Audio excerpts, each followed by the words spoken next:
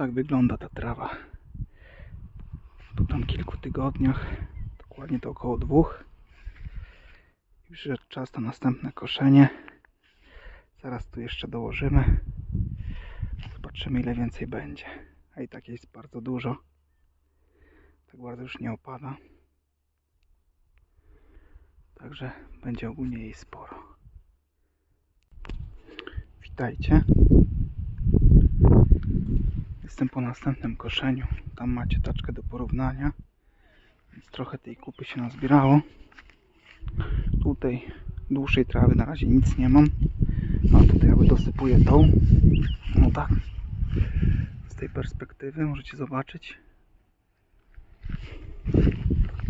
Trochę tego jest. To jeszcze jest nie koniec. Jeszcze trochę dojdzie.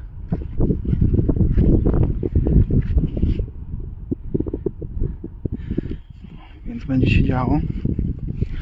Już podejrzewam, że tym to ze dwa, jak nie trzy takie kompostowniki napełnił, co wam pokazywałem.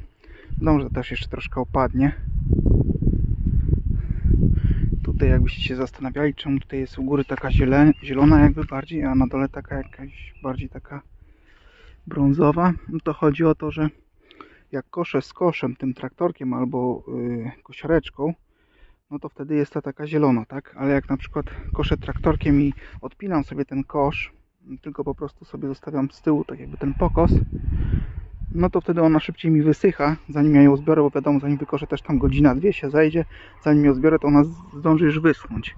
A jak się kosz, kosi w te kosze, no to z tych koszy jak wysypuje, no to ona tam praktycznie nie wysycha bez wierzchu troszkę, a w środku jest zielona i dlatego tak wygląda. Ta zielona po prostu też szybciej trochę pracuje, bo tam musi znowu dostać wody, nie? Żeby to zaczęło elegancko pracować. No ale teraz te deszcze chodzą, przeloty są, także nie ma problemu. To tak samo podejrzewam, że i wilgoć z rosy wsiąka, tak? Bo rano też jest duża rosa. To też ta wilgoć tam wsiąka sobie jak gąbka. No dobra, to na razie. Potem jeszcze Wam pokażę, jak będę kosił dalej. Cześć.